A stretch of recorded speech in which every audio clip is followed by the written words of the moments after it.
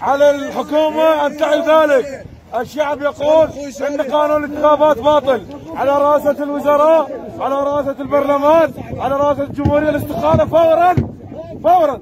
يعني لا لا لتحالف البناء الرأي ولا لكتلة سارون ولا للأكراد ولا لأي كتلة. الرأي هو رأي الشارع الشارع هو من يختار من سيكون في المرحلة القادمة.